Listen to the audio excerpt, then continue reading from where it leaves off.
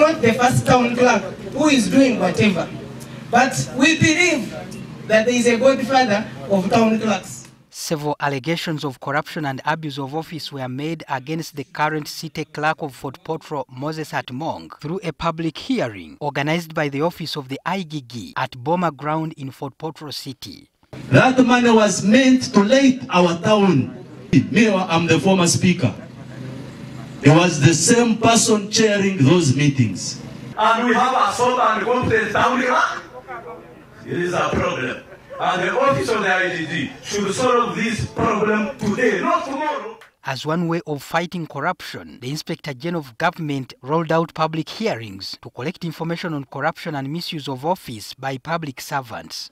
Over 400 people gathered at a hearing chaired by the Deputy IGG Mrs. Anne Muhire and Victoria Rusoke Usinge, the Minister of State for Local Government. You that are here are very, very key in this fight against corruption. We are following up the cow to refund the money of Kategaya Memorial Institution. So the actions are not only here in the city, the city is just beginning.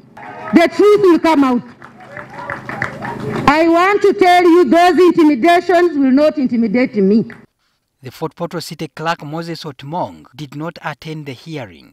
The officials from the IGG's office insisted that he had been informed in time about the meeting. The accounting officer was not there, and neither did he delegate. And uh, there were so many questions that we really needed him to explain what the issues were. Unfortunately, he was not there. He said he was in Kampala, that he had gone to meet the permanent secretary of uh, defense and also the permanent secretary of local government, uh, who apparently also said they were not expecting him, but we summoned him back. People accuse you in your absentia, you are given an opportunity to come and defend yourself, and then you don't come. However, at around 6.20 p.m., Moses Otimongo was arrested on orders of the officials from the IGG's office.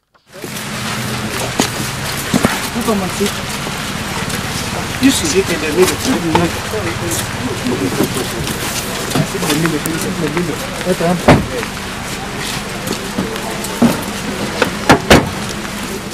are now going to actually constitute a team which is going to stay in Fort Portal uh, for the next week or so to start investigations.